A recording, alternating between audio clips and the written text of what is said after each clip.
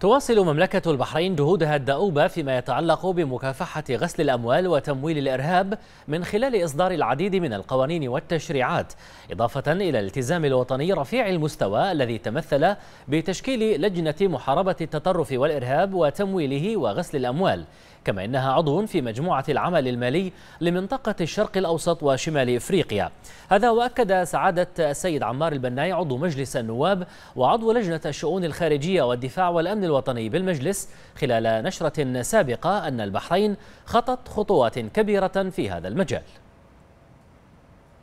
في زمن قياسي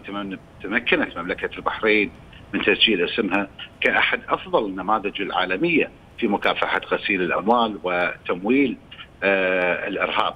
آه أيضا لابد من الإشادة بما قامت به مملكة البحرين من تعيين إدارة التحريات المالية آه مركزا وطنيا لمكافحة تمويل الإرهاب وغسيل الأموال وأيضا إنشاء لجنة محاربة التطرف ومكافحة الإرهاب وتمويله برئاسة معالي وزير الداخلية و عضوية مملكة البحرين أيضا في مجموعة العمل المالي لمنطقة الشرق الأوسط.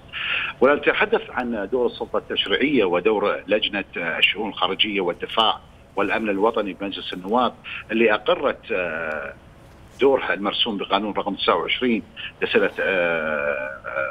2020 آه، بتقديم آه، بعض أحكام المرسوم بقانون رقم 4 لسنة 2001 بشأن حظر ومكافحه غسل الأموال وتمويل الارهاب واللي تضمن التوسع في تجريم آه، غسل الأموال المتحصلة من جرائم واللي يشتمل أيضا على أي آه، نشاط إجرامي وارد في قانون العقوبات آه، البحريني أو أي من القوانين الأخرى، كما نص المرسوم على تطوير عمل لجنة وضع سياسات حظر ومكافحة غسل الأموال بمنح اختصاصات أكثر شمولية وتوسيع صلاحية المحاكم المختصة والنيابة العامة بشأن إدارة الأموال المتحفظ عليها في قضايا غسل الأموال وتمويل الإرهاب.